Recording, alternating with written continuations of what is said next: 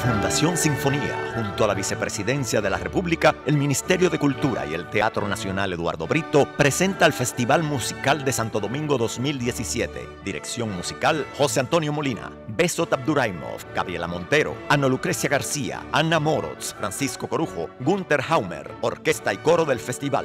Dos brillantes conciertos y un recital en el Teatro Nacional Eduardo Brito, 18, 22 y 24 de mayo, y un concierto abierto al público. Caribbean En la Plaza España de la Ciudad Colonial el viernes 26. Boletas a la venta en Fundación Sinfonía 809-532-6600 y 809-535-8690 y 91.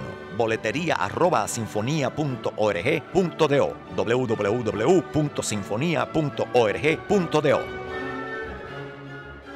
Recibimos al maestro José Antonio Molina, es una figura nacional e internacional, un artista de, gran dimensión, eh, que nos honra con su presencia hoy, maestro, para comentar un poco del festival, cómo marcha el proceso de la organización.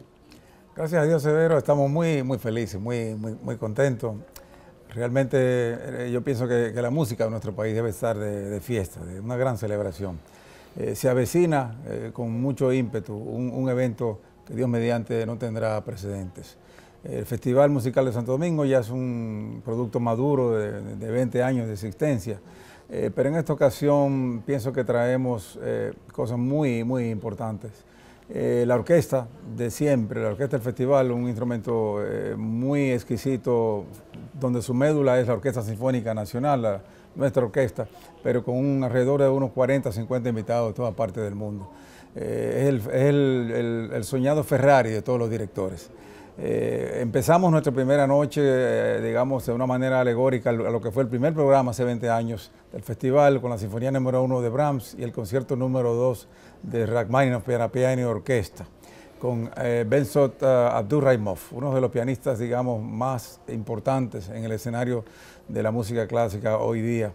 Nuestro segundo evento es el día 22 de mayo con la famosísima pianista venezolana Gabriela Montero, viene a estrenar cosas como la sonata en si menor de Lis, entre otras cosas, pero además Gabriela es, una persona dotada del don de la improvisación, la cual la hace igual, un producto antes y después en la República Dominicana. Nunca ha venido un recitalista de esta magnitud, luego de un gran programa, eh, digamos, universal, eh, tocar eh, música improvisada.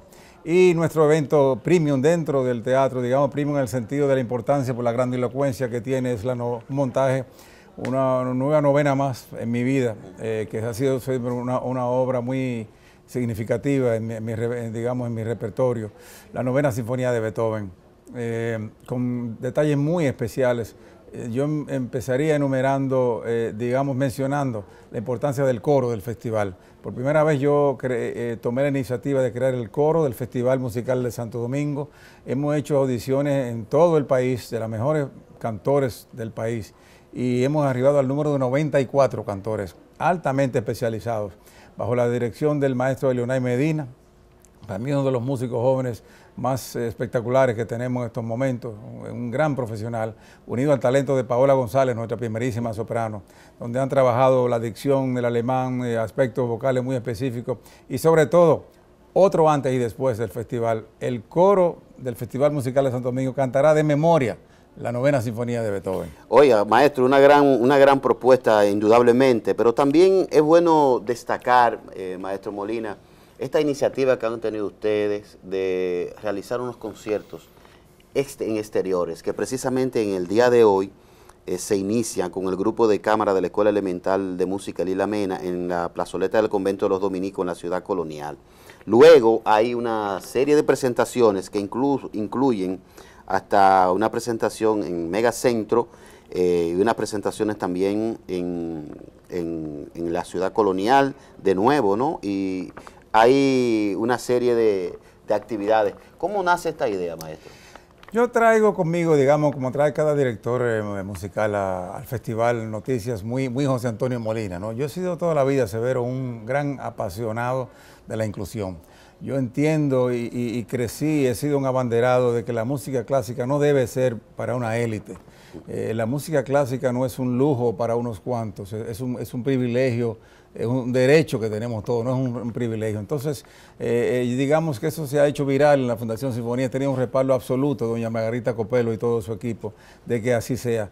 Yo entiendo que un producto tan exquisito como el festival tiene que llegar a, sectores donde tradicionalmente no ha llegado la música clásica. Es la primera vez que lo que este festival se quita el frac y va a salir a las calles, pero más que eso, eh, esta iniciativa que tú mencionas, eh, de la mano de Guillermo Mota, mi director asociado en la, orquesta, que está haciendo un trabajo fabuloso, eh, un ensamble de flautas del Conservatorio Nacional a cargo de la profesora Laima González, la, orquesta de la Escuela Elemental de Música, por una cortesía de su directora, ha, ha, sido, digamos, la punta de lanza para llegar a esas masas. Yo, yo estoy ansioso de ver la carita en la estación de tren Mamatingó cuando suene una, orquesta de cámara. Eh, pienso que, eso es una manera realmente de, que el festival se extienda a las masas y que de, de ser, digamos, eh, el lujo que es llegar hasta el Teatro Nacional. Es un público cautivo que, eh, atesoramos y queremos, pero hemos querido que trascienda las barreras del teatro esta vez del festival. Caribbean Gems, que es la gran obra suya, maestro, que ha paseado por el mundo, regresa a la República Dominicana después de cuántos años? Porque estuvo por Medio Oriente. En Medio Oriente estuvimos en el 2011. De manera que una gira exitosísima, estuvimos en, eh, en Siria, en Damasco, hicimos un concierto en la Casa de la Ópera de Damasco histórico. Fuimos a Abu Dhabi, Dubái, Qatar, hemos estado dos veces. De manera que yo, yo tenía muchas ansias de, que el público dominicano disfrutara de esto. ¿Y en qué escenario, maestro? Pero sobre todo en el escenario. Eh, eh, gracias, porque se trata de eso. Va a ser un concierto abierto totalmente al público, donde la gente de a pie va a tener el privilegio de ver la orquesta del Festival Musical de Santo Domingo. Y los protagonistas de esa noche no son Beethoven ni Brahms, son Nico Lora, Toño Abreu, eh, don, don, Luis Rivera, Papa Molina. Eh, eh, bueno, la música que te digo, la, música, esencia. La, esencia de nuestra música, el espíritu de la música, dominicanidad mismo estará allí, en un repertorio que yo he tratado con toda humildad de, revestir de un, de un, ropaje sinfónico y tiene toda la dignidad, digamos, para, para que esa gran orquesta la, la toque, pero igual la inmediatez para que la reciba el, público, el hombre común, porque ahí hay tambores, ahí hay guira, hay saxofones, hay, mucha esencia de la dominicanidad. 26 de mayo, Plaza de España. Así es. como a las 8 de la noche. 8 de la noche, que no se lo pierdan. Eh, eh, yo, yo quiero ver multitudes disfrutando de, la última noche de este festival para todo el pueblo dominicano. Maestro, eh, ya concluyendo su participación al día de hoy, que reitero nos honra con su presencia, el, impacto de la Fundación Sinfonía al, desarrollo de la música clásica en el país? Bueno, sin lugar a duda, para mí tiene que ser, eh, eh, es la mejor noticia que le ha pasado a la música clásica. Eh, don Pedro Rodríguez Vidacañas, Dios lo tenga en gloria, y doña Margarita Copelo han hecho una labor sin precedente en la cultura musical del país. Hasta el punto de que en un momento la existencia misma de la Sinfónica estuvo en manos, de, dependió de la ayuda de ellos por un tiempo tuvieron la administración de la orquesta y la mantuvieron a flote y es la orquesta que yo llevo de la mano hoy, he llevado hasta donde la, eh, humildemente la he llevado, pero eh, el trabajo, por aquí han pasado la plana mayor de directores solistas más importantes del mundo, de manera que el, el Festival Musical de Santo Domingo ha puesto a la República Dominicana en el mapa universal de la música clásica. Así mismo es, maestro. Pues muchas gracias, éxito en esta entrega que reiteramos la información será la inauguración el día 18 de este mes y en el día de hoy se inician los conciertos eh, populares ya sacando un poco lo que es el festival y esa propuesta eh, del Teatro Nacional y que el público esté en contacto directo con, lo que ustedes están haciendo. Muchas gracias.